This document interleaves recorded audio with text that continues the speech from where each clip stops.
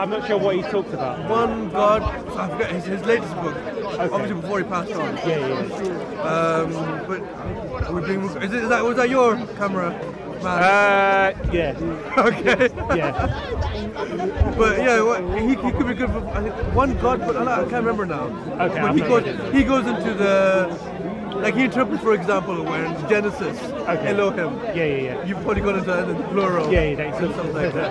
Okay, so so what was your analysis like of why Jesus wasn't the God? Like from Well, obviously, our, my perspective is that it's from the Quran okay, primarily. yeah, yeah, yeah. But also, I try to. I don't. I don't say everything. I don't say I reject this verse Okay. because the Quran says this. Yeah, yeah, yeah. But I'll also. I'll try my best to present other points of view as well. Okay. That uh, supposedly do support the Quran as Yeah, well. yeah, So I use a lot of the academic side of things. So source criticism. Okay, So I'll explain like a lot of like Mark's passage. Yeah. And then I'll say, I'll say okay, Matthew used Mark. okay, But he modifies it here and there. Yeah, yeah, yeah. With actual criticism. okay, Um, textual criticism, I go into that as well, manuscripts. Okay. And where certain passages were modified, Yeah, yeah, yeah. changed, and stuff like that. okay, So, yeah, I mean, it's just, uh, it's helpful Okay. for, for the Muslim, and for, for you to get the Muslim perspective as well. okay. So so then, what was your kind of the outcomes of what you felt that the Christians had corrupted the scripture a- I around wouldn't this say person God? corrupted the scripture. Okay. I would say, I mean, there is an element of that through later Christian scribes Okay, having the freedom to write parts of it, what they felt they wanted to write. okay, Uh, and obviously, some like early church fathers yeah, are actually, you know, they're condemning certain scribes as well, saying, you know, you find that in the footnotes or the the columns of certain manuscripts, okay, saying "fool, hardy, you know, scribe, leave the original reading." Yeah, yeah, yeah. They make free reading, but also about, I guess, who wrote the Gospels as well, isn't Yeah. it? We don't really know have that information. okay, Um, Mark, yeah, Mark wrote it. Who is Mark? okay, Where did he get his information from? okay, Uh, who is Matthew? Who is Mark? And Okay. Luke and Duke and John? Who are these people? We don't have a lot of information about that. Okay. So it's difficult to verify. and the concept of the Trinity. So then, what was your kind of? I didn't go much into the Trinity. I don't understand the Trinity. Uh, but not not in terms of understanding what it was, but how do you perceive, from a Muslim perspective, that this doctrine came into play? I don't know whether to blame. Okay, this is outside the commentary now. But I, for my own personal Okay, view, Okay, so your commentary doesn't do deal not, with that. well, because the Trinity is not really spoken about in depth in the four Gospels. Okay, okay. So Paul just goes into a little bit, but I don't know whether Paul, for me, my own personal view, Yeah. I don't think Paul created the Trinity. okay, I personally believe Paul believed that Jesus was a an angel or is the supreme creation of God. Okay. He wasn't God. okay, That's my own analysis of, of Paul's Okay. of Paul's letters. Okay. Because he talks about a hierarchy as well. A lot of places. So then, why do you think Paul would have believed Jesus was a supreme being? Like what? Like, did you extrapolate evidence from the Bible, or are you just kind of saying this is what I think Paul thinks? This is what I want. This is what I think Paul. Okay. I mean, obviously, you take it from his yeah. letters Yeah, yeah. uh, and, and and his writings. Yeah, he elevated him. Okay. To a thing. I mean, I personally believe, yeah, Paul prob- probably came to the conclusion of Yeah. he saw Jesus. He knew he was dead.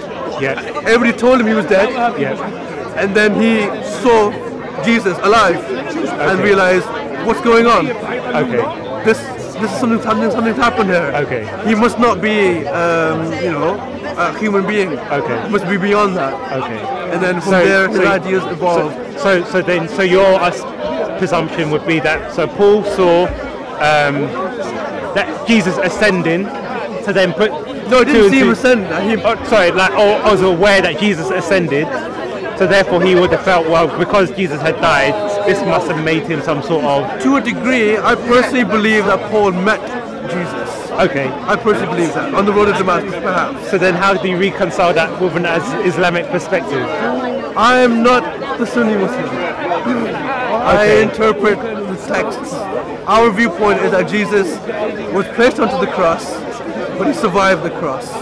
Okay, are you you're are you not are you an Ahmadiyya? Yeah, yeah, I am. Ah, okay, okay, okay. So you believe he was okay, and but then you would have that's like the swoon theory or Correct. something like that. Okay, Because whenever when you read Paul's letters, yeah, if you take Acts of the Apostles aside and read his letters, Paul is convinced. Can just, you know, because I can't hear just 'cause like really loud. Paul, if you read his letters, Maybe just. This is quite loud. I can't. Take Acts of the Apostles out of the picture for, for one second, Yeah, yeah, and you read Paul's letters, yeah. you have to come to the conclusion that Paul met Jesus like the other apostles. Okay. He was equal to them. Okay. Exactly the same level. Okay. And he convinced himself that he is resurrected from the dead because a vision, for me, a vision doesn't convince somebody that this person is resurrected. Like if I, if I knew you, and if I, and somebody had told me you had died, yeah, and you were dead, and that's it, and I knew that you had, you had died. Okay. And after a few days or a year, I see you right now in the flesh. If I would probably believe, oh my God, either you didn't die or that you died and that you resurrected from the dead. Okay. But after a few, if after somebody told me that you were dead, Yeah. and then a year later I see you in a dream or a vision, I'm not going to come to the conclusion that you've resurrected from the dead, am I? Okay. So then, what would have Jesus told Paul if he? stop persecuting my community, sort it out, stop it. But then, wouldn't he have said to Paul, Possibly. if he, if Paul believed he was an angel, wouldn't Jesus have clarified that? No, I think Paul evolved. Eventually. Eventually got to those thoughts and, and moved. They move along. I mean, for example, when you read the earlier letter of Paul, I Yeah. mean, you know, you don't find many divinic titles of Jesus, but the latter ones, like Philippians, Yeah. one of his last letters. The Yeah. poem, the poem is over, over there. Philippians, I think it is. Yeah, yeah. Where Jesus is to a degree lowered himself. kind of yeah, and Yeah. kind of almost equated himself to God as well. Yeah, yeah, yeah. Or practically has. Okay. Um, so he's he's thinking things through. So then, how did you become an Ahmadi? Because obviously that's quite a um, obscure n- maybe not obscure, but It's quite a yeah, quite. It's not the obviously mainstream Islam, so it's kind of like Well, maybe either you're born into it or I was born you- into it, Okay, but then. I researched Okay. Christianity. Because I it's, it's just because it's not something that I, I hear many people that would, they convert into not it. many, yeah, not many so well, to be honest, not many quite a, Muslims um, go into Paul anyway. It took Yeah. me years to. I'm, I haven't mastered Paul. I mean, I'm still looking into him. Okay. He's he's a difficult read. Yeah. I think understanding the Gospels is a lot easier Yeah. than understanding Paul's letters. Okay. He is hard. Yeah, yeah. yeah. I, I, I'll just that in a second. But so just going back to the Ahmadiyya's part. So then, how come you don't accept like Sunni Islam or let's say Shia Islam? Like, is it just have you looked into them, or, or like I'm Yeah, just trying to I understand mean- like the differences with, between your beliefs? Because my, my own background, I'm quite. I, I've researched Christianity quite a bit. Okay. So, and there's one particular saying of the Prophet that stood out to me. Yeah. Where he said that my community will resemble, will be split just like the Jews. Yeah. And they will resemble the Jews like one shoe resembles the other shoe. Okay. And he goes, all of them will be in the fire except one. Okay. And uh, that, that stood out to me. I was wondering why, what, what's so different? Are we that one? Who is that one? Okay. I looked around, but then I looked at, I looked at all the prophecies in which I looked at why did the Jews reject Jesus? Yeah, yeah. and they rejected Jesus because Jesus Yeah. did not literally fulfill any of their prophecies. Well, he did, but partially. But Literally, not all of them. literally, he didn't. Like he wasn't literally uh, a ruler who who was a Yeah. son kind of David. But that's why. Say that again. He didn't literally like he wasn't a literal usher in the kingdom of God, did he? Yeah, Or he didn't. Elijah didn't literally descend from the heavens. But then that's why they'll say there's a second coming. So that's why I The said Jew- partially. yes, but Yeah, the yeah. Jews don't have a second coming. Yeah, they have one coming. Yeah, yeah, yeah. So in the same way, our Prophet Muhammad prophesied the coming of Jesus. Yeah. And he said the same things. Yeah. That he will be a just ruler. Okay. He will bring in, he will usher in Yeah. the rule of kingship and something like that. Okay. So the Muslims have rejected our Messiah Yeah. for the exact same reasons as the Jews rejected the first Messiah. Okay. And I see the parallel. Okay. And I see the ones, and, and for me that, that kind of But- resolves the But the thing is, when you actually go into the Old Testament and you look at the prophecies, because then just actually one other question is, how do you view the, the scripture? Is it corrupted or is it reliable? So when I looked at the prophecies, Yeah. or the, what the viewpoints of the Jews were, Yeah. I I studied the uh, the, the Jews at the time of You read Jesus. the whole Bible. No, no, no. I studied the Jews at the time of Jesus. Yeah, yeah. And what did they understand to be who the Messiah would be? Okay. So I read the Jewish works like the parables of Enoch, Okay. the fourth book of Ezra, Okay. the, the Psalms of Solomon, Okay.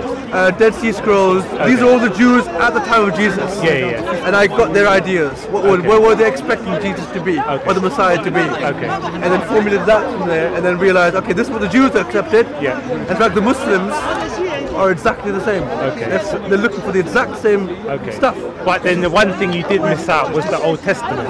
That's very much open to interpretation, isn't it? Like, for example, I've, I have looked at, like, for example, the suffering servant. Yeah.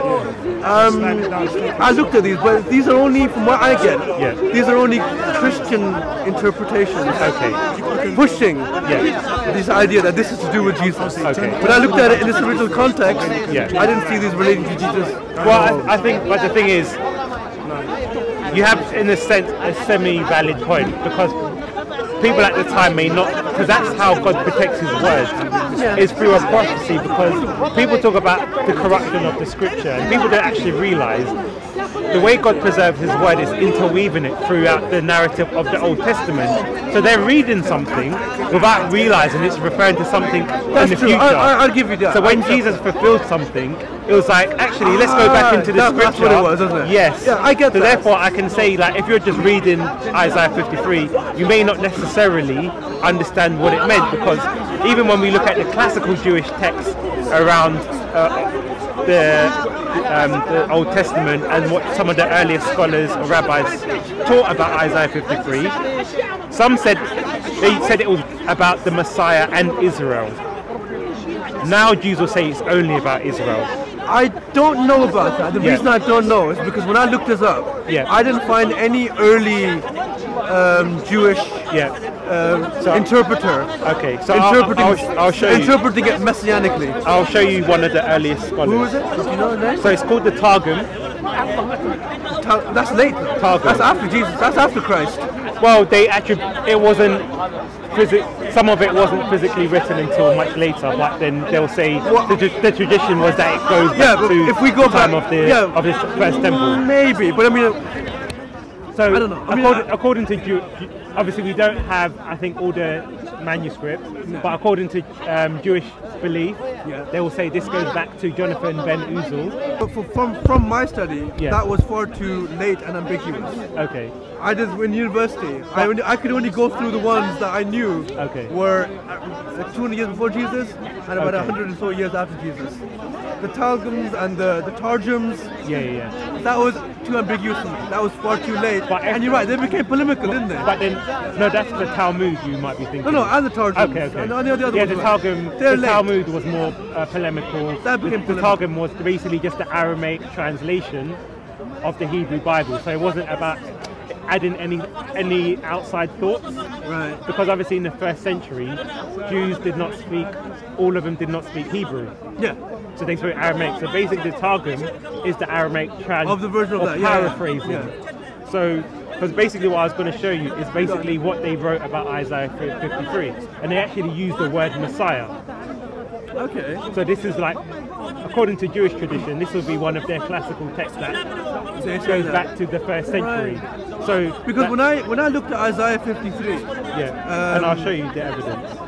No, there's Yeah, a, if you look at the, uh, I think it's the Hermeneia series, commentary series, that's an academic series, Okay. and um, you find out that Isaiah 53 is in fact one of the sub, one of the four is a fourth suffering servant songs, isn't it? Okay.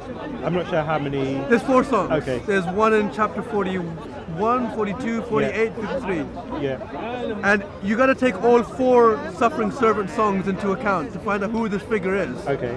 And the second one explicitly says the servant is Jacob, Israel, basically. So when you look at them all in context, that's how, I, that's how I well, it. well, we'll look at that verse because that's not Okay. what I'm familiar with. Go on, no problem. I'll, I'll, we'll start with Isaiah 53. Um, so, what does the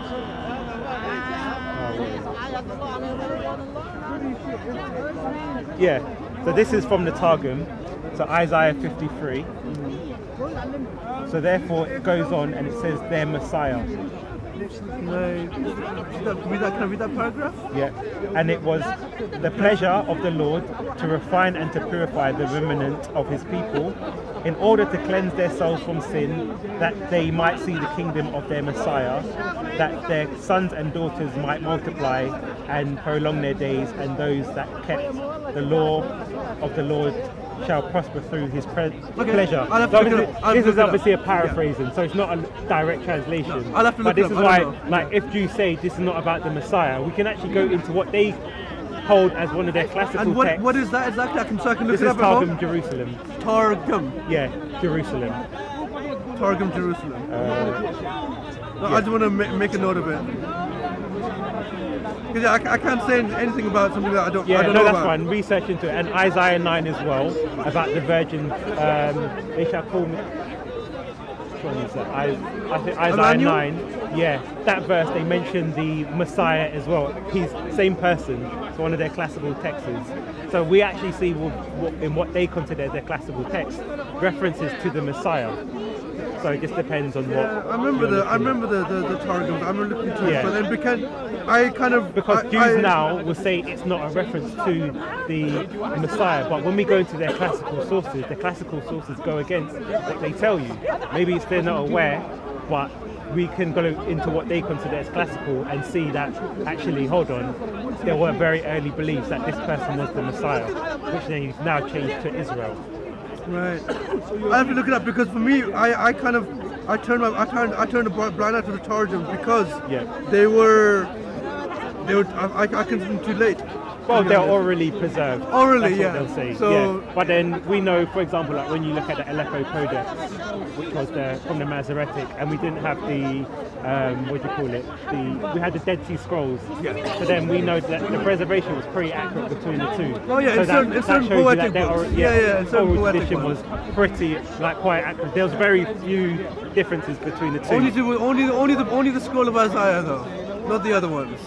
So there's the, the Dead Sea Scrolls have a Genesis Apocryphon, a completely alternative version of the Genesis story as well. So there's a lot of other Jewish books in the Dead Sea Scrolls yeah. that don't there's- coincide with yeah, the yeah, there's uh, apocrypha, but the, in terms no, of what apocry- it's, it's their alternative scripture basically Yeah. as well. Yeah. So o- I think only Isaiah matches really well because it's very poetic. It's difficult Uh, to change. I- the no, narratives, I don't you think- find quite a lot of discrepancies. from what I'm aware of, the, discrepancies aren't they're very minimal in terms of Okay. like what we have because when we they compared the Aleppo Codex to the Dead Sea But only to do with the Isaiah scroll, isn't it? The great Isaiah scroll.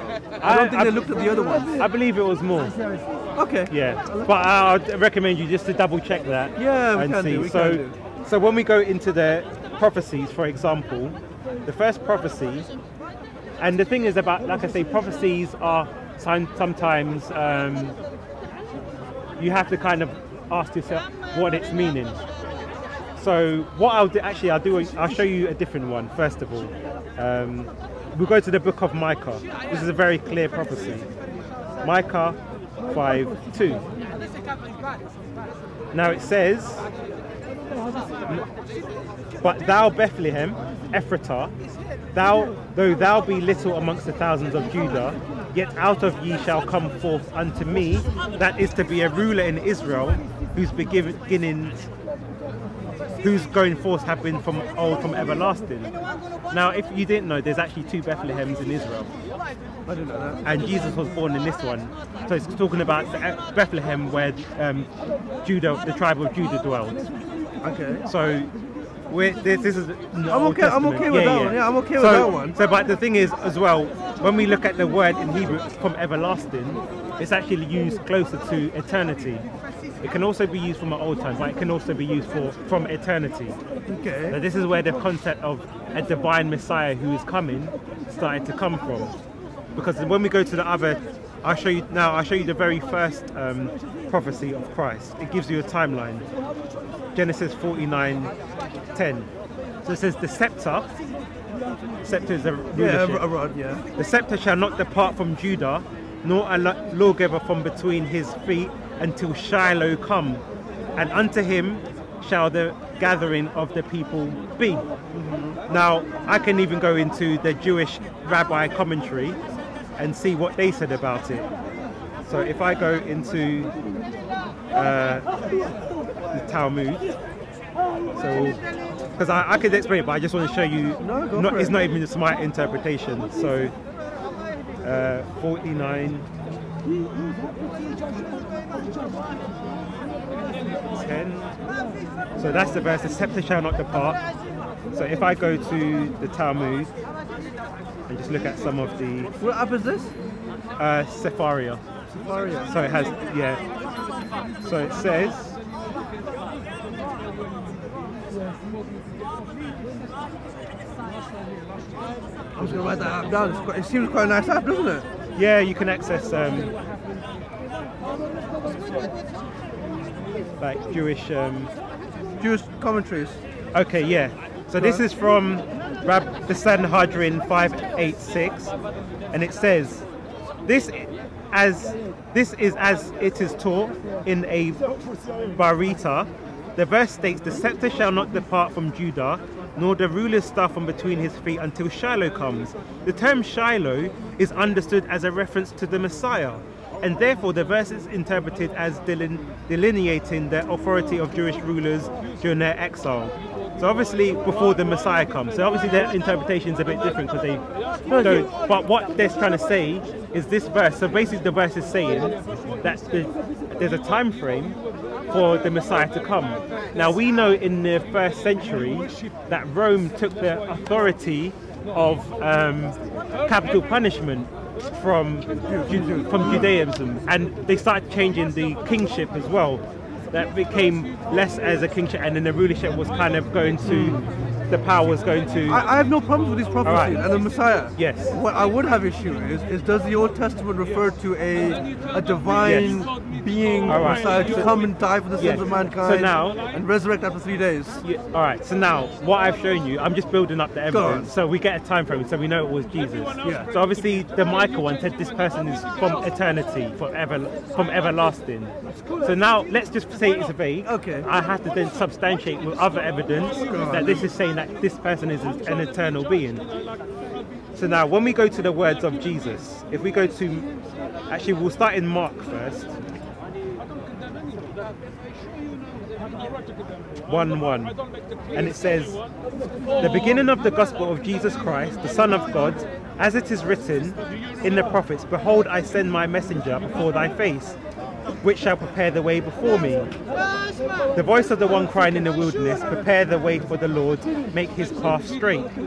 John did baptize in the wilderness and preach the baptism of repentance of remissions of sins. So, what I want to draw your attention to is that he says, As it is written in the prophets, Behold, I send my messenger. So, then we have to go back into the Old Testament to understand what it's talking about. And also, we see in uh, Matthew 11:10 um, Jesus is with the people and they're talking about John the Baptist. So he sees the Jesus says began to say unto the multitudes concerning John, what have you gone out into the wilderness to see? Obviously we see that there's going to be John was baptizing in the wilderness. So when we go forward, Jesus also says, For it is written of he whom it is written, Behold, I send the messenger before thy face, which shall prepare the way before thee. So now when we go to the Old Testament, we go there's two passages. Malachi. Yeah, Malachi 3.1. And if you're aware of the Malachi 3.1, it says the Lord God will visit his temple because it uses the word, when it says Lord, Yahweh. it, well, no, no, it's used had, ha Adon, which is the title for God, Okay. the Lord. So every there's only it's used only six times in the Bible. Each time it's referring to God. And then we also go to Isaiah. Uh, where is it? Isaiah verse chapter 40, verse 3. So it says, The voice of him that crieth in the wilderness, prepare ye the way of the Lord. Now that's using the word Yahweh, the divine name. Make straight unto the desert highway for our God. So now why would we say, would Jesus refer to people to this prophecy that says there's going to be someone who prepares the way for God?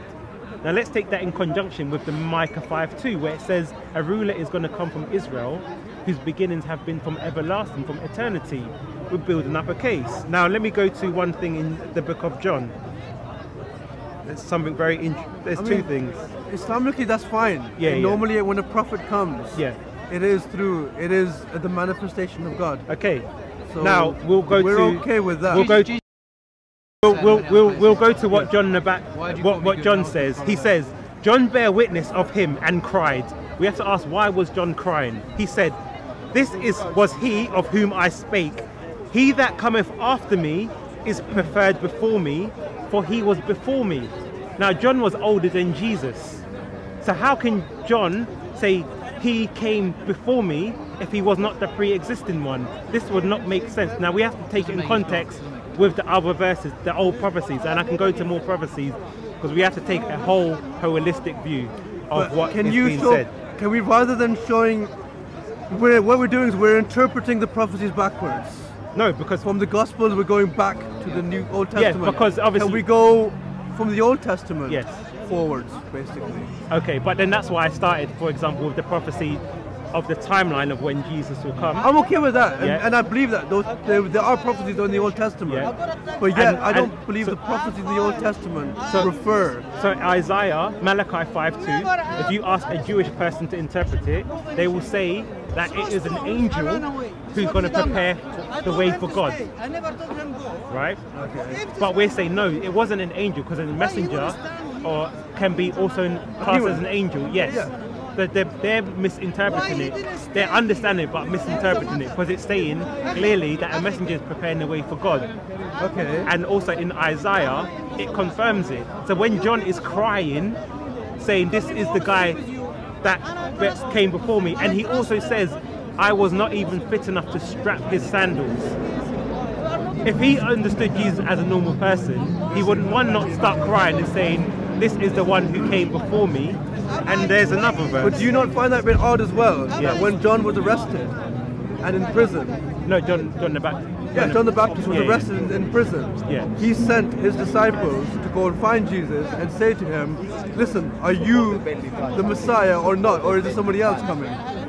Do you not find that odd when he is so confident here, Yeah. and according to John's Gospel, where he says, "Look, behold the Lamb of God," but yet at the end of John's own life, he's not sure and thinking, "Is this really?" Are you really the Messiah or not? Uh, Which- I don't think he was unsure. But for me, that shows- what's this shows the what- corruption of- no, let's go into the verse. 'cause I don't know the verse off the top of my head. Then we can like Paul, at do you least, know the verse on top of your head? at least read You don't through about- because Lots of my head. because I I'm not I'm not sure of that. No, no, the one that where John the understanding that you Baptist is in Yeah. prison Yeah, yeah. and he sends his disciples. You see, the, th- the, pro- the problem is, in the Synoptic Gospels, Matthew, Mark, and Luke has a very different understanding of Jesus' mission and John the Baptist's mission than in John. If you mash them all together, You get I mean, I mean, you know this. You've studied the, new, the Bible at university, haven't you? Yeah. You've got a master's in the subject. I too have studied it. I know what you're talking about. What these Christians are doing, they, they, are mashing them all together, which is unhistorical. In John's Gospel, at the very beginning of the Gospel, Jesus is the word, is a Lamb of God who takes away the sins of the world. Chapter one. No one, Jesus never doubts John the Baptist, like the entire of John's Gospel. In the Synoptic Gospels, Matthew, Mark, and Luke, he's never called the Lamb of God. Jesus, um, John the Baptist doesn't know. Is So not sure. Hang on, I'm finished. It's not finished. So he's Well, I just wanna answer- Can, can I just finish what I'm saying before you interrupt?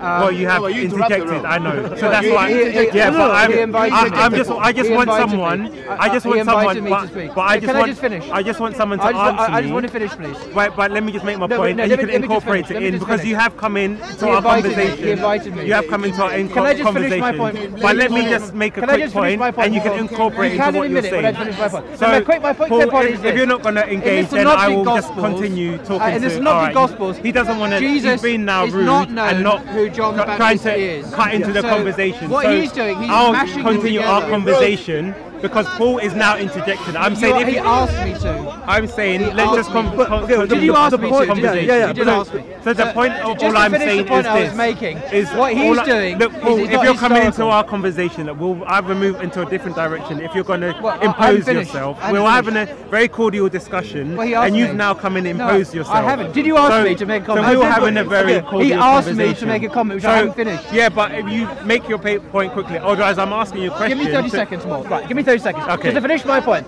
So John's John the Baptist never doubts Jesus because John has exalted John the Baptist and Jesus to make statements they never made in history. This is what standard biblical scholars say. In Matthew, Mark, and Luke, as you know very well, John the Baptist doesn't know who Jesus is. He, he's unsure. He sent emissaries from prison out to find out who this man is. How do you explain the contradiction? John is not historical. Most, virtually all scholars, as you know from studying this at university, do not see John as historical. Christians, who have not studied the Bible academically, they mash all these stories together and they have these issues. So John is unhistorical his claims about Jesus.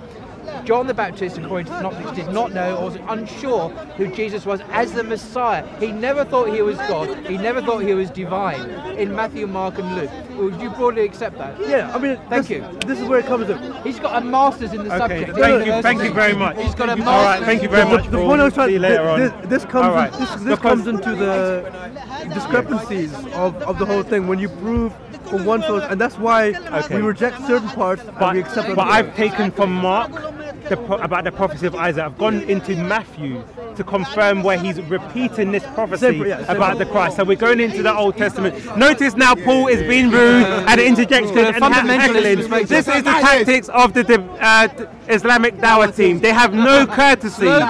They have no courtesy. I, we were having a cordial conversation, and now he's interjecting and now heckling from the side. So, as I said, we went from Mark and we went into uh, Matthew as well, Jesus' word. We then went back into the Old Testament because we can say we have to now build up a case to support that okay. this person in the Old Testament is being prophesied as one from And everlasting. beyond- yeah, Yes. okay, so now that. I've given you obviously the Malachi because there's no other interpretation to say because it, even if you want to go to a rabbi, they will say it's an angel preparing the way for God's physical manifestation in the temple. So we can either take their interpretation or the Christian interpretation that the, the angel was actually John the John Baptist Baptist. preparing the way for God. Then we go back to Isaiah, which also confirms that there is a ba- someone in the wilderness who is also preparing the way for God. Then obviously we jumped yes to the book of John, Yeah. where it says John Lamb was of God. crying, no, where he said the, the one who came after me was actually before me. And also we see when John, um, Thomas, um, sees Jesus again and he says, My Lord, my God. Now, when we look at the Greek, it is, let me just give you the exact Greek, ho kurios, moi kai ho theos moi, which literally means the God of me and the Lord of me in the Greek. Now, we can, let me can I confirm that quickly? yes, Uh, do you know the passage of the top uh, you got there? yeah, John 28, John 20, 28, John 20, 28, 28. yes. Ho kurios my, my God, my Lord, Mhm. Kai, and Ho theos Moi, Yes. my God. Yeah, What did you What did you say? Sorry. that means the God of me and the Lord of me. No, sorry. It's my Lord. Okay, The God of me would make the Moi dative. okay. Would be Moi. This is Mu. Uh, So how would you translate it? As this as the the Westcott Hort, my Lord and my God. It's an Well, explanation. Yeah, explanation. but that's how they kind of yeah, that's how they No, put it. uh, in. grammatically, if it was Yes. to be my God of me, Yes. it would make the mu Okay. would be a dative dative. Now, do you have the Septuagint on that? I can get it. Okay, I want to show you something. Uh, can I get it? I've got the Blue Letter Bible. No, it won't be in the blue. Oh yeah, yeah, yeah. It will it- be. would it be in Yeah, there? yeah. I think you can go. I don't know if you can go from the app, but if you go through the internet, you can also because it's What do you wanna oh, you go to the Old Testament. Okay. So in Psalms uh, 35, 23, it uses almost the exact same phraseology. Psalms what? Uh, 35, 23. Where's Psalms? This, uh, I've lost it. Where's Psalms? Can you see it? Old Testament. I'm in the Old Testament. Psalm. Ah, okay. What did you say? What, 35, 23.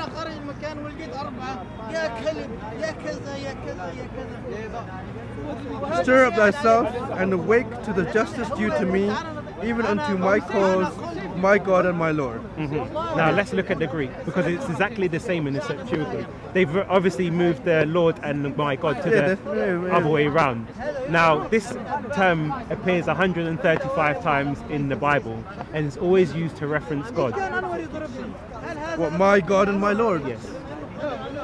Yeah, it's an explanation. It's an explanation. It's like oh, it's like me saying, So- "Oh my God." No, because that's a fallacy and an anachronism. Because oh my God is something that only came into tradition in around the 1300s, especially in Christian tradition, because it was always initially used for hymns. Oh God, my God, blah blah blah. It was never ever used as a uh, expression of shock. This is what we, like you say, you cannot read something back into history. Yeah, yeah. You would have to find me historical evidence of one person using that phrase. In the Bible, it's never used in that sense. Every single of the 135 times, when used by a Jew, it's never referred to as a statement of shock. Also, that would have been blasphemy. And using the God, Lord's name in vain to say my God, that's why, like, even in Christianity, it's like, it's kind of like blasphemy. Like you're saying the Lord's name in vain. And if, so if you look at it, so Jesus never actually corrected him to say like, you know, kind of don't say this statement. But the main point is every time we see it in the Bible, 135 times, it's always used by a Jew to refer by God. Not now, if you're saying it's a term of shock, now you're reading into history, and you would have to provide me historical evidence that that has been an accepted term of shock for a Jewish person. Hold on.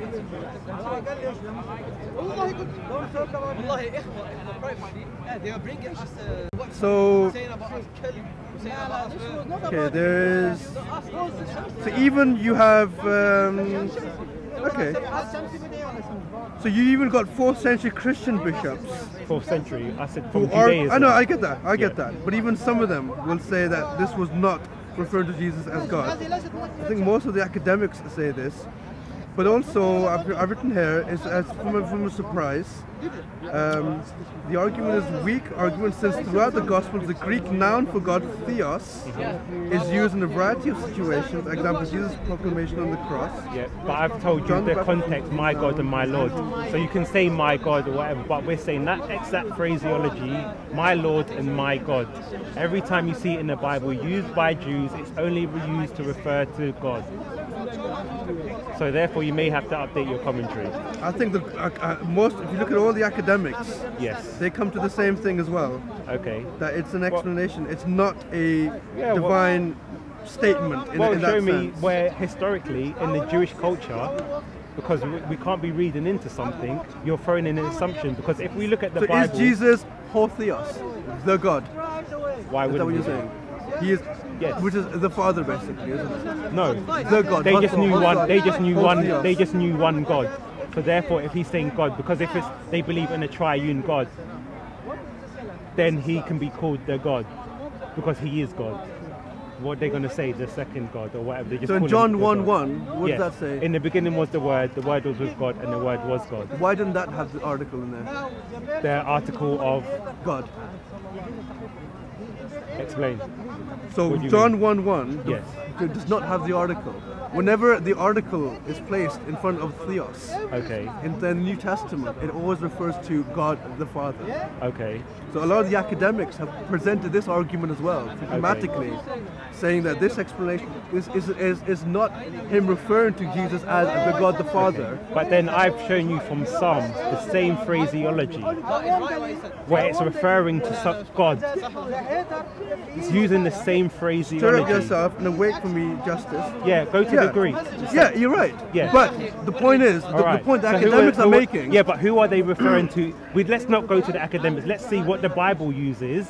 It was in the Septuagint as how they Why translated can't it. Thomas say? Why can't it be an Yeah. explanation? Why not? Why can't? because you're reading into that. I'm saying, give me a biblical um, clarification that this was used at the time, because we have to then go into the Bible to look at the language. So if we're seeing the same phraseology that was used in Psalms in the Septuagint, how is it then now changing? Because you're talking about the article, but if they're using something similar in the in you're saying because the article is different in John, but then in Thomas, what Thomas said, so therefore we can extrapolate a different understanding. Yeah, but I'm saying to you, if John uses in the book of John what Thomas says, and then we ex- compare that to what was said in Psalms in the Septuagint, when they use the same phraseology, then that argument falls apart because yes, you may say they're article, but then when we're comparing the Bible within the Bible, then we're saying a consistency. No, no. The point I'm saying is in the Psalms of Solomon, Yes. or the Psalms of Yeah, whatever, this- in the. Psalms, whatever, where, they- where they have that story, or referring to that, that phrase, Yes. it's referring to God. And I'm fine with that Yes. as well. But he's using the same phraseology as uh, so that that, And- that and- you prefer referring to God is not the we can argue is not the same as in John one one. So No, it's different. Yes, so therefore you're trying to apply John one one. no, no, I'm saying that's one of the many reasons. Yes, but we well. should use the Bible to interpret it himself, not then try and throw in evidence of saying, okay, well, this is different, therefore Well, it must mean this. all, all, all, all, all Thomas is saying Yes. is a phrase that he has read Yes. in the Psalms. yes. It doesn't mean that he is calling No, Jesus. he's not referring to something he's read in Psalms because now you're trying to extrapolate Well, that meaning of what he that's an example. Because we know if we look at the Bible, I said to you, there's 135 times that phraseology is used. Yeah. Now, if every single time it refers to the same thing, you cannot then say that one time was a moment of shock. Yeah, but why not? Why? Why can't? What says who? Because I would say then give me historical evidence that this is something that Jews knew as a term of shock. You're, you we've got 135 instances. You're trying to take the outlier, make take to make this an outlier to say it is something different, but then we have no historical evidence to confirm the what absence you're of historical uh, absence of that kind of thing does not count at all. So therefore, shouldn't we go and look at what the, how the Jews use, how the Jews used to refer to God, to use that as our basis for John's, um, for Thomas's no, you got to take into a lot. You got to take a lot more into account when you do when you You've, refer you've only this. taken into account John 1 1. and a lot of other passages. When, Such as when, what? Well, for example, when Jesus Yes. was uh, when the Jews came to him and they wanted to pick up stones to stone him, Okay. And they said, and Jesus asked, "Why do you want to stone me?" Yes. And they said to him, "You are a mere man, Yes. are claiming to be God." Yes. That was Jesus' perfect opportunity. But why say, would Jesus say, My Lord, my God? No, I'm answering that. I'm, Yeah. I'm interpreting the whole thing. Okay. That was the perfect opportunity for Yes. Jesus to, to tell the people, yes, I am God. That's- but that's what he said, argument. no, what he said Yes. instead was, don't you know that in your own scripture, Yes. that that God, that, pe- that people say ye are God, he is explaining what he meant. But we're, we're going on to something else. No, but We're you- you gotta look at the whole yeah, but I've, thing though, yeah, but it? I've built up an argument for an artist, but we're focusing on what Thomas is saying. Why Yeah, did and I'm Thomas telling you- refer to Jesus in a term that Jews only use to refer to God? Let's we can deal with the, what Jesus was saying secondary, but I'm saying to you because your first argument was some scholars say because the Greek does not match up Vast with John majority, 1 1. if not But all. I'm saying to you the, jo- No, no, no. terminology That was one of the reasons, but the vast majority. This is an open to interpretation. Yes. This is not a so- solid thing. Okay. You can't say categorically. Nobody knows the intentions of, of, of Thomas. Okay. Yeah. But so when, we, when, when, what you're saying is that he said that he preferred to Jesus as God. Okay. You can't prove that. While I'm saying the same Okay. thing. So on that the was so on the balance of probability, we have the word used 135 times, and we have no other historical evidence of a Jew saying, "Oh my God," in this sense. Why not? How did you know that? How- do you know provide that? the You don't- evidence. I, I don't have it. Okay, so I'm saying from the scripture we have 135 instances. Now you're trying to now say You found- that because this is why for example, and also we're taking what Thomas said in conjunction with the arguments I'm presenting you to show that there was a divine being that was coming in the flesh. So now we can take all that together and say, well, did Thomas know? Because we've now added that to the comment of John, who said, He who came after me was before me. But we know John was older than Jesus. Okay. And we have Thomas now confirming what John is confirming. Because John was. you, you can do that. Of course, Yes. you can. You can pick little verses and, and interpret them that way. Okay. By all means, you can. But when you look at the whole picture, Okay. you don't come to that conclusion. Okay, now, so you've not really been able to deal deal with this, but we'll go into the next point. You're saying that We'll Jesus end up said, arguing the same point Well, you said again. Jesus said he wasn't God. So obviously, we, I don't think you've adequately, and we can let the people at home decide whether you adequately dealt with that point. But let's go on to the next point, just so we don't kind of fall. So Yeah, you're saying do the same thing. that Jesus was saying that he wasn't God. Yes. Okay, so we know there would have been a perfectly good reason for Jesus not to say that. Why? Because, for, first of all, Jesus said, "The hand, the Son of Man will be de- delivered into the hands of, uh, like the Pharisees, whatever. He'll be killed, and in three days he shall rise again. So Jesus was prophesying his death. And we also I don't believe he actually said that. Okay. So what did he say? So if you look at it, Is that what the scholars say?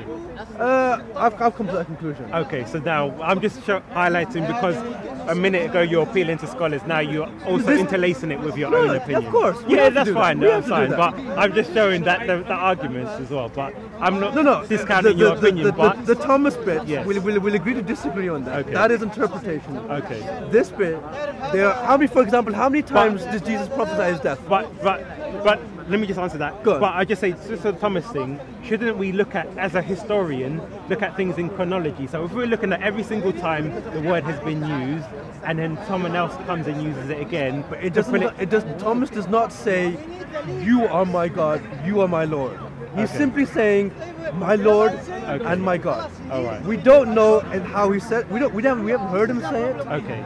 All we have is the writings of somebody who came later who, who wrote it down. Yeah, but we're not saying who wrote it, but we're just saying from the text, what are we extrapolating from exactly. the text? We don't. So, we so can't we're, be certain. if we're That's looking not, at for me, that's not strong enough. well, if we have 134 instances before, and then now you're trying to say there that this term was one of So shock, if Thomas, it seems a if, if Thomas said, "My God," yes, Now that's been used five, six hundred times in the Old Testament. You would come to the conclusion that he was just, that he was calling Jesus well, God. If if he said my God and you were arguing that's something else, then I would say your argument has more strength. Why? Because my God, that phrase has been used five, Yeah, six hundred because, times because in the Old Testament. Because if people were using it in different contexts, we don't know though, do we? But I'm just saying, if it was, then that would strengthen your argument. Let's so we would have to look.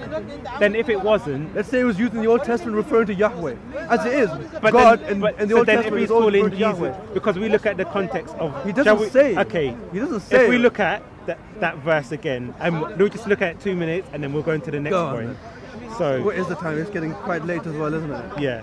So we'll, we'll just move on from this point, but because uh, we just want to look at the whole thing. It gets trying to- boring going over the same point. the- yeah, the- it does. It does get boring going over the same like same point. So um, let me just make this one very quick. What point are you trying to make now? No, just to see what he said and what happened afterwards. What Jesus said afterwards. So obviously he says, and Thomas, no. Then he said to Thomas, reach hither thy finger and touch my- hands, reach. Blah blah blah. And then Thomas answered him and said to him, My Lord, my God. And Jesus said to him, Thomas, because thou hast seen me, thou hast believed. Blessed are they that have not seen and yet have believed. Okay, fine with that. Okay, so You can't from that. it- Yes. It's, it's, it's, it's for me. It's weak okay. as a solid thing, saying Thomas is calling him my Lord and and and and, and Yahweh. Okay. Well, again, like It's- it's open to interpretation. Well, we'll move, move on, on. to the point, but obviously we can either compare this against 134 other instances or a one Yep. ri- uh, rogue rate You have- rogue you have said that many times. no It won't convince me though, I'm afraid. Yeah. Okay. So then, obviously, you said um, Is it John 8 somewhere that Jesus had the perfect opportunity yes to because proclaim his yeah, divinity? because Jesus came for a purpose. Because Jesus knew the heart of the Sanhedrin, for example, they were will, they were wanting to stone him. Because Jesus came for a purpose to preach the message of the coming kingdom of God. Dying on the cross was his purpose. wasn't Yes, it? but if he had said it that time, what would have happened? They would have stoned him and blah blah blah. He's God. He can miracles. But he, he- can he can yeah, evade but- them. Like yeah, he but did. the thing is he, he- did pass through them. didn't he? Exactly. He no no he would evade them and disappear. But the thing is, he had a purpose to serve. So that's why he Jesus used a lot of double talk, and we'll I'll I'll show you some some more. Well, can you can you can you you got the passage there? What does he say to them? He, instead of instead of saying yes, I am God. What Yeah. did he say? when they, they he, he talked him. about um, Elohim, the, weren't the weren't the judges called Elohim? So Right. he's he, he's explaining to them Alright. that the people, the previous people, have been called gods. Yeah. Would he make that explanation? Okay. What's the purpose of doing that? Well, because Jesus said, okay. Why why make that point? Because Jesus came, and let me read you the parable he said. No, no, no. That that John, Yeah. read John, So, John, the one that we're talking about. Yes. Jesus was accused of being Yeah, claiming yeah. to be God. Yeah, yeah. So He did not. He did not deny it. Okay, Yes. whatever. But he, what he did, he he made a point. Yes. What was the point he made? Explain to me the point he made. the point he made was that in the past people had used this name Elohim like freely. So it doesn't And- mean that they were a god per So why, why make that point? Because Jesus knew what their intention was. So Jesus you was the master of double talk. Wouldn't it be a simple explanation be that he made that point to show them Yes. that he is not claiming to be God? No. And I'll expand an- another point. Okay. When Jesus, before Jesus was crucified in the court, they asked him, Are you the Son of the Blessed One? What did he say to them? I don't believe that happened. Okay. So, Because it's, for, it, it's, it's, it's the authors copying Daniel 7.13. yes. Daniel 7.13 has Okay. never been interpreted messianically. Okay. Is And it- it, and Jesus, yeah, it, so, it doesn't. so the, the book of Daniel says the one like the Son of Man. yes, like the Son of Now Man. that- a man. now It that- someone who looks like a man. No, yeah, exactly. So it's a simile. Now in the simile, the How is it a simile? because it says the one like the Son Yeah, of you Man. are like a son of man. That's what Daniel was talking about. When, when, yes, when you use a simile, if I say you're strong like an ox, it means that the first object of that sentence is not the literal of the second part. So you're not literally strong like an ox. The ox is the literal part, you are the figurative part. So when it says one like the Son of Man, the Son of Man is a literal, but it's saying something figuratively was like the Son of Man. So therefore, the, the figurative thing cannot be a human because you would not use a simile. That's why, again, I repeat, say you may not understand. If I say you're sweet like chocolate, you, the object, are not literally sweet like the object, which is chocolate. No, no. I think you're, apply, you're applying this English grammatic to the to Shall we look at what the, the Hebrews. Okay, shall we see? Daniel seven thirteen. So what do you say? What did he I see? saw in a night vision, and Yeah. behold, one like the Son of Man came with the clouds. Okay, so what did he see? So therefore, he saw a divine being, a non-human. You can even say an angelic being, but it was not human. That's why he's comparing it to a human. He's saying whatever he saw looks like a human. Okay. So this is a simile to say that whatever this Yeah, he is, looks like a man, basically. yes. Yeah, but if you look like a man, you can't be a man because it's a simile. It's a vision. He saw Yes. from a distance. If I see you from a distance Yes. and I say, "Oh, I think it, it looks like a man," I'm not. I don't mean that you're not a No, man. because he saw clearly No, it it coming on clouds. He saw the, a the vision. Yeah, yeah. in the a vision you don't know. No, the vision was very clear. That's why Daniel further goes on to see what he says, sees, and then he said the nations will gather around this Yeah. Son of Man and serve the Son of Man or worship the Son of Man. So he's very vivid in what he saw. Okay. So he's not saying, "Oh, I had a vision, my eyes were blurry and I couldn't." No, no, no. I get, out." I get all Yeah. that. I, I interpret. I, I understand Daniel's vision. Yes. and the vast majority of, of academics as well Yes. referred to this as referring to the man here is, is, is the nation of Israel. And the other animals The Son of are- Man is the nation of Israel. Yes. And the other king other beasts are basically the That other can't be an- the truth. Because when Jesus said, "You shall see the Son of Man coming in the cloud," course. and we also see before Jesus Ste- we said- saw also see Stephen when he had before he was stoned, he saw the vision of It's who? the same Luke who wrote Acts. I'm saying to you, yeah. But we're saying this is where when, you take- yeah, but when we see Stephen, what did he see? He saw a vision and, and Jesus at the right hand side. Yes. Yeah, of course. See, Okay. it's the same person writing the same right. thing, isn't it? Okay. This is where it gets difficult, where right. you take the Gospels as gospel truth. I'm just no, no. But I'm I saying this is what the text is saying. of course, this is Because what I've your- not, your I've not interpreted says. anything. I'm saying to you, this is a simile. It's very clear. I don't need to say. I understand that, Yes. but what I'm saying to you is those words. I don't believe Jesus spoke those words on in the Sanhedrin. Okay. That this thing. Plus, saying those phrases Okay. is not blasphemy either, right. is it? But then, even saying that, let's just Go on. pause that point. Daniel is clearly saying someone looking like a man who's not a man is going to visit the earth. No, he's not saying that. So what is he It's all a vision. It's all. How does he interpret it? This, this talking about the. Are we talking? Oh, do you also believe that Daniel, that beasts will come out of the earth and they will come in the future as well? Well, in terms of the, the That's that's the- what Daniel seven is talking about. Yes. So you, if you're taking that literally, Yeah. you got to take the whole thing literally. You got to be consistent. Okay, so I'm when when it- it's a Daniel, Daniel has visions of different things that symbolize different things, but he never says those beasts are like something. So he's clearly saying, Of course, he describes the beast. It's like a leopard. It's like this. Yes. As what he can see. all right. So Daniel now, therefore, if he says it is like, because I can't, we can look at the verse, but if he says it is like a leopard, therefore it is not a leopard, but it has the appearance of a leopard. Of course, they had Right. big iron Okay. horns and So when he says he sees that. one like the Son of Man, Yeah. We know it's not a, a physical man. What is it? What would it be then? something that looks like a man? Like what? What would that be? it could be, let's just say, an angel, a divine being. In the appearance of a man. Yeah, it could be. Because we have to ask, why did Jesus keep refer- repeatedly referring himself to the Son of Man? And in this court of the Sanhedrin, he said, uh, "The Son of Man." You That's see not a divine title. I Now, don't believe that. let Son me of Man is say title. one other thing. Go on. Sorry, because I know you got to go, and I'm trying to build up this case. Go so, for it. Build your case. So, we also see some of the words that Jesus spoke, Where? and for example,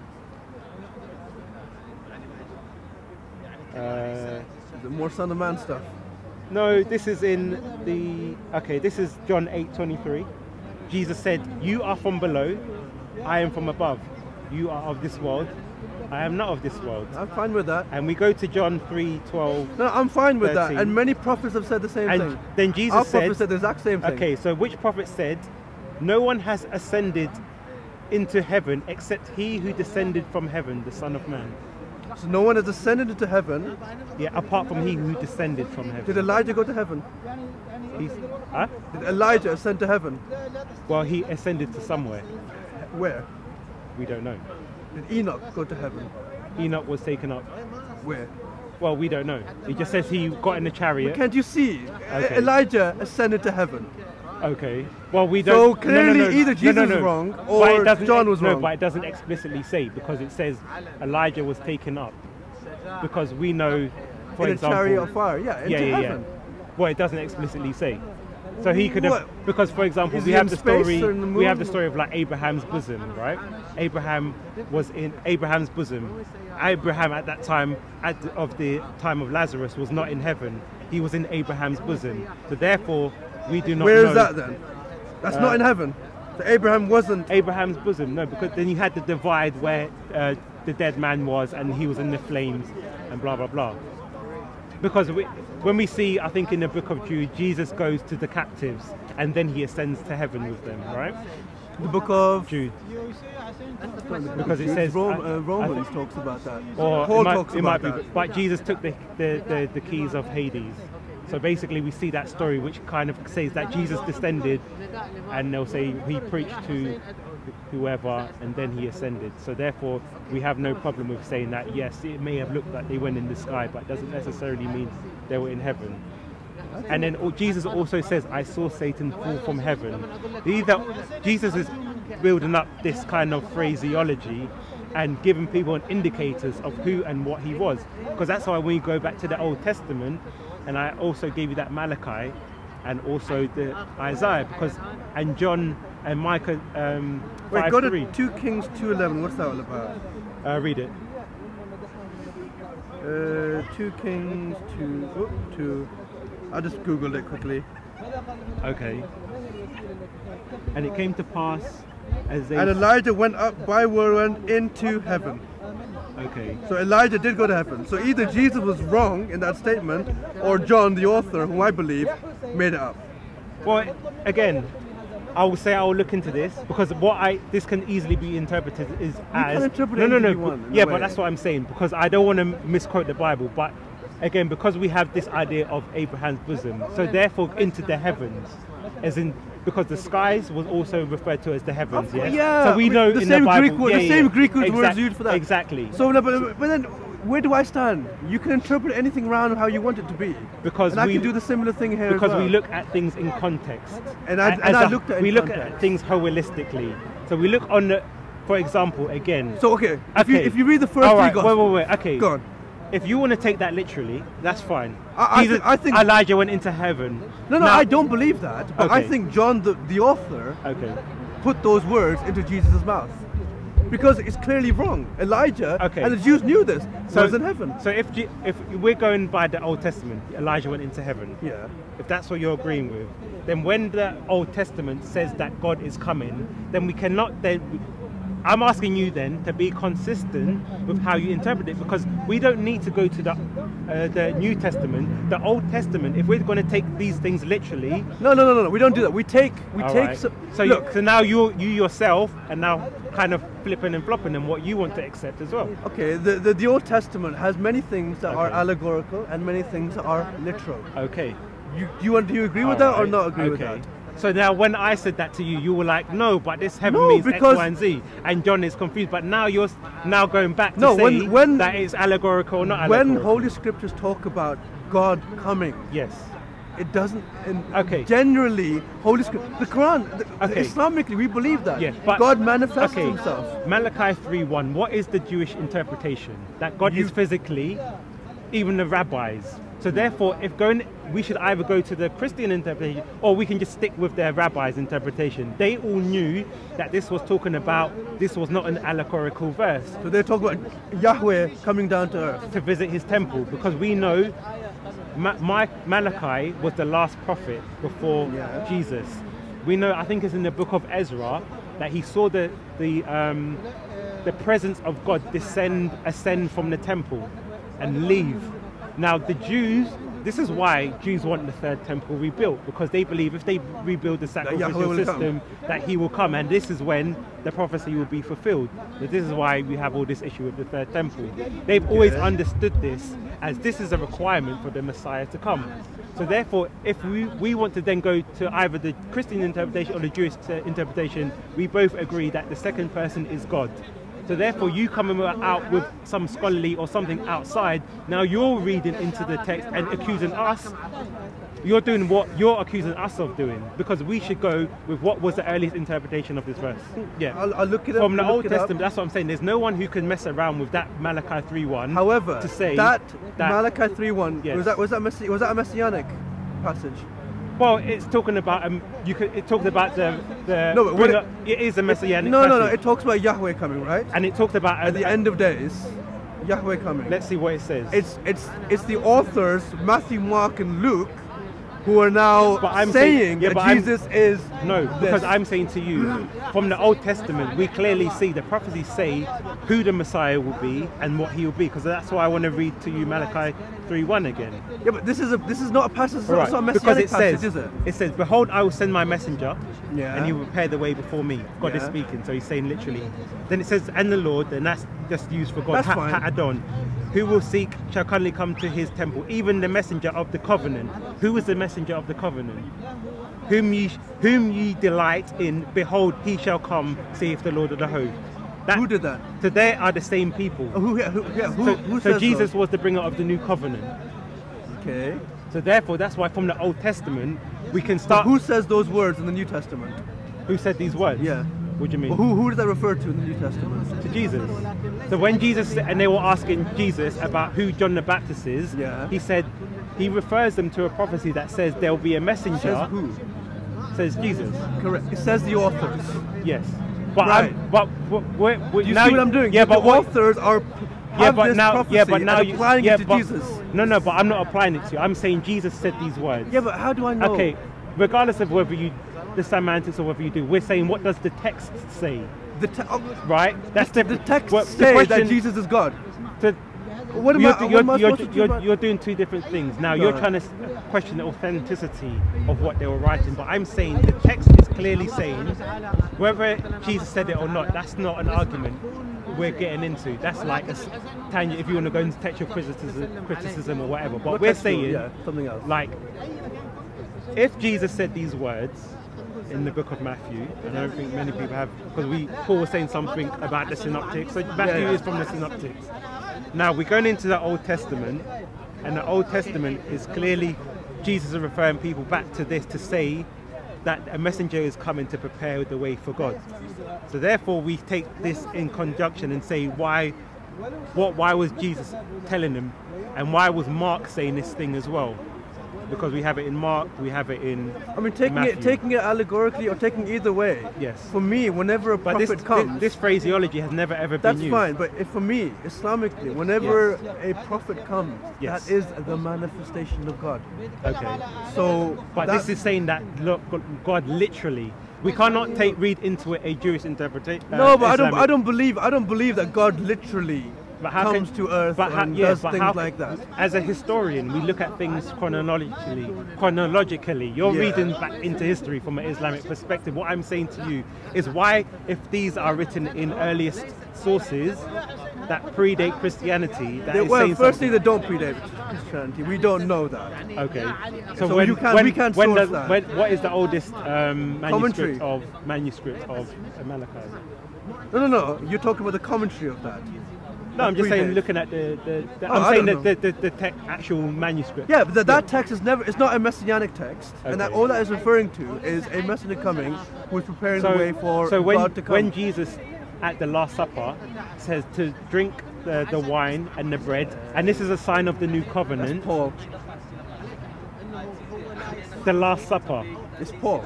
the Last Supper.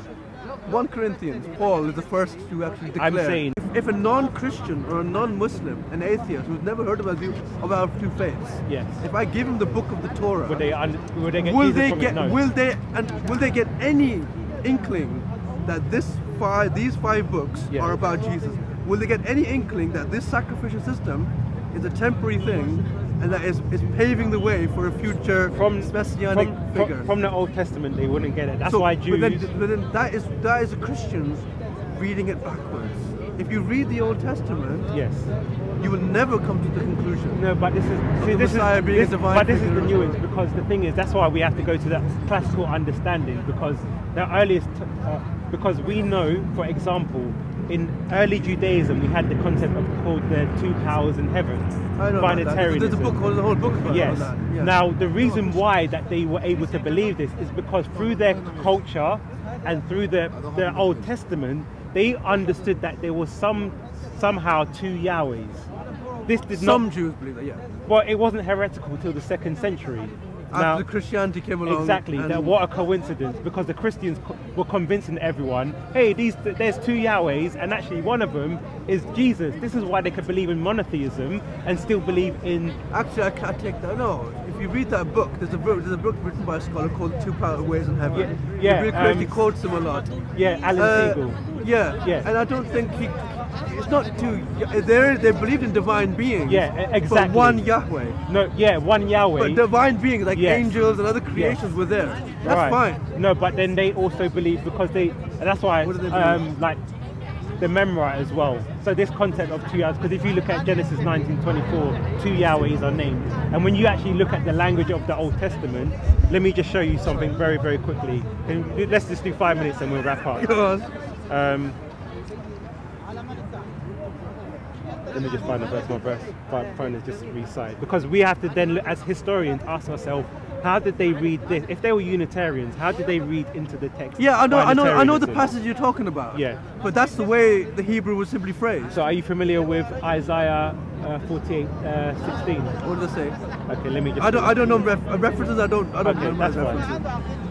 Because obviously, But if it's I was talking about raining heaven, raining. No, no, not that one. That's uh, Genesis 9:24. Yeah. The two Yahwehs. So we obviously wouldn't have known this is what would have come from this. Yeah, but there- thought. there's many, there's, there's, other things. there's many other places. There's other passages which talk about, like, I don't know, the wife of I forget his name. Lamech, uh, Lamech, yeah, and she's but he talked to himself in the third person. exactly. And that, that, that this, is, this is common. But this, in, in, but in there was a difference between that one because in that Genesis 19:24 they're talking about location. It says Yahweh rained down from heaven, from Yahweh in heaven, fire Yeah. and brimstone. So he's not saying uh, Yahweh rained down fire and brimstone from heaven. He's saying Yahweh rained down from Yahweh above. No Jew interpreted that to be two Um, actually said. Let me just see. um, Jews, Jews interpreted it to be. Can uh, you get up um, Isaiah 48, 16? And yeah, after this we'll wrap up. But it's been a good conversation yeah, it has, it has.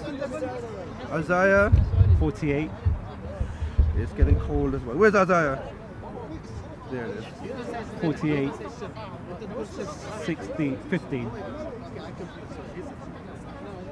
So it says, I, I, even, even I, have spoken, yea, I have called him, I have brought him, and he shall be made, he shall make his way prosper, prosperous. and 16, Come ye unto me, hear ye this, from the beginning, I have not spoken in secret, from the time that it was. Here, there I am, there am I, and now the Lord uh, Yahweh has sent me and His Spirit. and, and who's talking in that verse? I have no idea because I've not, I don't know the context so of God this. is speaking in that verse, saying God has sent me and His Spirit, with His Spirit. You know, this is, I, I don't know. Yeah, It's, I'll say it's, it's a I'll say- difficult one for me I'll, to. I'll say yeah, that's fine. We may, you may not know about it now. No. Research into that verse because that verse as well causes a lot of Jewish people a lot of difficulty. They might say it's um, there is an explanation, but it's a very quite weak one. But what they say because it's talked about the Spirit, God, and God is also speaking, saying He's been sent by who? if I remember, So now, if you're a classical Jew, this goes into the whole two Uh, yeah, powers in heaven. yeah, yeah, yeah. I think I read Rashi's commentary on that verse. Okay. And Rashi was simply saying, I think this is the prophet Isaiah speaking in verse 16. Okay. That's what Rashi said. Yeah. But I'll say you just look into it if you're not 100 sure. I mean, if you're here again, we'll, we can have a We can do again. discussion and stuff. Because obviously you're doing your Bible country, commentary. I'm finished so- with that anyway. Yeah, Well, yeah, yeah. Okay, it's finished. But, well, So- getting there. Yeah, it was a nice conversation. It was.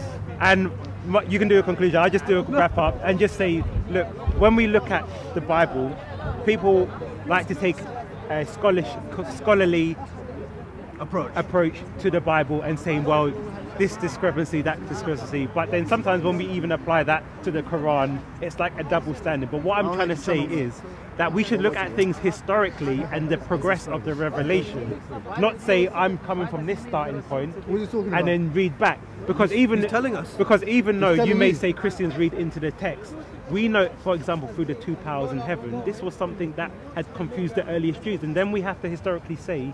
Why did these earliest Jews, if they were Unitarians, heaven? have What's this concept? Because we never ever see this concept in, let's say, Islam, because the Quran is very clear about monotheism and Unitarianism. The so only- therefore, okay, on. yeah. So therefore, if we're taking a historical approach, we have to look at things holistically and take into account why these people also believed in these certain um, principles as well. So that's what my my uh, Advice to me advice you would be to look at everything holistically and also the references where God seems to be talking about being sent by another God because there's many verses you have to go deep into the Old Testament to do to find out those verses. And if you if No, my, you my, my thing was simply yeah. As you said, I'll, I'll take on I'll take on those points, but what I'll try to avoid Yeah. is reading prophecies backwards. Yes. When Paul talks about interpreting, or in Matthew, even Matthew was particularly popular in doing this. Yes. In talking, linking Emmanuel to himself and Jesus, Bethlehem to, to, to Jesus. Yeah. He often actually created a number of prophecies that I don't think were applicable at all to Jesus. If you read the prophecies in their original context, it makes a lot more sense, and it just seems to be nothing. It's not messianic at all, basically. Okay. So I try my best to leave the Old Testament as Yeah. it is, read the Old Testament and read it yourself, anybody, Yeah. and see whether they come to the conclusion that the Old is the Old Testament all about Jesus. Were the sacrifices Yeah. all pointing to Jesus? Did Yeah. the Old Testament, as Paul says, introduce and bring out transgression? Yeah. I don't think any of that at all, and I don't like reading the Old Testament through But just the eyes of God. in one thing to that, We've obviously I should. No, I'm just dare saying. But no, the Targum, I did show that from what they believe is their classical sources. but we've also, agreed that, we've also agreed that Targums are very late. Yeah, but then we would have to ask why would a, even if it was late, why would they inter, interpose the name Messiah into the text? It wouldn't make sense. It goes because that those verses go actually go against them. But They do that all the time. yeah, Those people, right, those Jews that. Thanks for your time. Good anyway. talking to you. All right, All right, cool. All right. Um, yeah, quick wrap up. So as we see, um, I think the guy he's got a commentary on the Bible from an Islamic perspective. He's um, doing his MA or whatever in Bible studies or whatever. So obviously he's had some very interesting points and. You know, I had to try as best as I can to redress many of them. But what we kind of see is people aren't actually taking a historical approach to the Bible they're not going from the beginning and understanding how did this concept of Jesus being this divine person being um, this Jesus being a divine person come into existence. Because we see from the Old, Old Testament the Bible is actually building up into this. And this is why for example he he wasn't looking at into things as we should. Because when I asked him about what Thomas said in Greek, he was comparing it to John, saying, "Well, well," but we can reference what Thomas said to what was said previously, especially in the Septuagint, because it translates the Old Testament into Greek.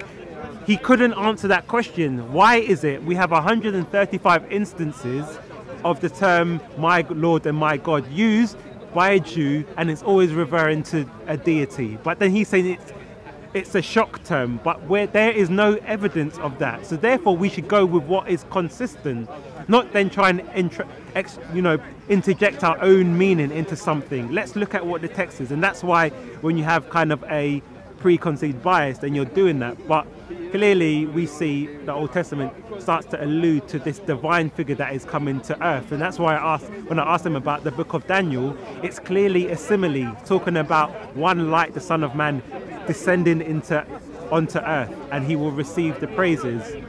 Um, but it was a good conversation anyway, you know, always learning the things I'll kind of look into with that. But clearly, when we look at a historical approach, we know that the earliest Jews actually believed in a multiplicity within the Godhead, and it was not an invention from Christianity. And I'm actually also working on a presentation on this, which hopefully be available next week or the week after. So please, if you enjoyed my um, presentation about the name Eastside, it'll be something on the same levels. So it'll be one that is like really, really good watch. So peace out. Thank you,